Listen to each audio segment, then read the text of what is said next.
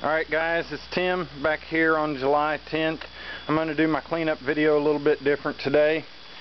Um, here's that little broken bird point that I found. Right out here on the terrace.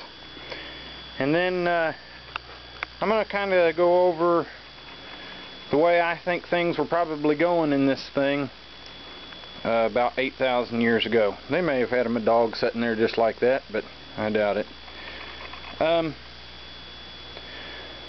not really finding any flint chips inside of the overhang here. I'm guessing that this was probably their living quarters. They probably had them a good woman reminding them to pick up after themselves and get rid of all the flint chips in there. They were probably taking them, throwing them just outside of this big rock right here uh, there are just layers and layers and layers and layers of flint out here. And I'm guessing that's because they were taking them from in there probably throwing them out here. They may have even set out here and worked them a lot but um, I found some stuff back in here. It's basically setting where it was at. There's a big flint nodule. There's a hammerstone they're probably taking the hammerstone beating stuff off of the flint nodule. Here's some kind of little tool here, more than likely using it to put a stick down in and probably start fire or something of that nature. A little small to be a nutting stone. I've got some nutting stones up there, but they're a little bigger. This was probably their table. And then there was their cutting tool. Um, there's the there's the back of the overhang there. I find a few flint chips back there where they probably, you know, beaten stuff off the building stone and they shot back in there. They didn't care. They didn't have to lay right up against some rocks right there. That, that's the very back of the overhang though.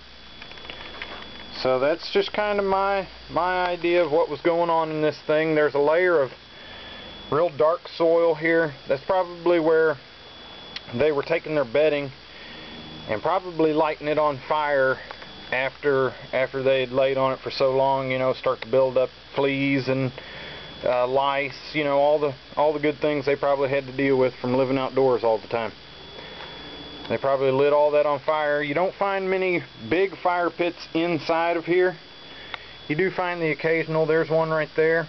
I ran across one today that was just just right on the other side of our big, what I call the table rock there and it wasn't it wasn't very big about the size of a basketball. And probably uh, you know eight nine inches deep but not very big at all. They didn't build big big fires up underneath of this thing. Just a little small one to stay warm or cook a little small meal something like that. All that other ash and stuff like that probably come from burning their bedding off. So that's just kind of my idea of the day in the life of what was going on in this place about 8,000 years ago. Alright, enough of that. Check this dude out. Set that little thing down there. Uh, this camera is probably not going to do that thing any justice at all. The working on this thing is just superb. That's a Graham Cave. A beautiful one at that barely retouched if at all. Just magnificent. Alright guys. Well sorry about the camera being all shaky earlier and everything. I, I hadn't found a point out here in so long. I just uh, got got excited. Real excited. So alright I hope everybody had good luck and uh, we'll see you guys